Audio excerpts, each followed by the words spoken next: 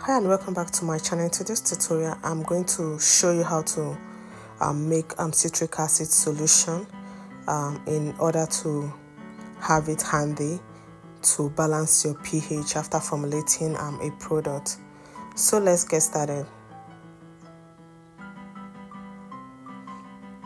So guys to make this um citric acid solution the first is to measure out my distilled water. So in my beaker i'm going to measure out 50 grams of distilled water. And the next this is my citric acid. Um, this citric acid it comes um, in different forms. Um, the first one I got um, um, had um, seed like a tablet kind of. And this one is fine powder. So at this point I'm measuring 50 grams of citric acid.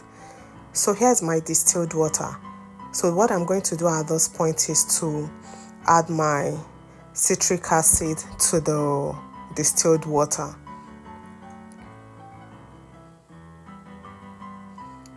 So after adding it to my distilled water, I'm going to mix it. So guys, this this is helpful. Um, most times if you don't have it handy, you end up adding um fine powder into your product um, but um, I found this one very helpful. This is very easy to make and when you make this you have it handy whenever you want to adjust the pH of your product. So this is the one I was talking about. You see this one has a seed kind of citric acid. Most times when I add it in some of my formulations, I notice that it's, it's hard to dissolve. So that's why I'm making um, this um, solution. So this is the citric acid I used.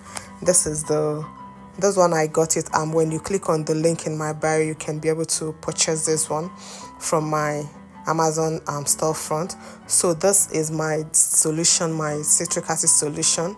So after um mixing it then i'm going to transfer it into the sterilized bottle. From here i'll be using it. And in order to use this you, you don't need much of this this um citric acid solution. You only need maybe a drop or two to make um to adjust your the pH of your product, your formulation.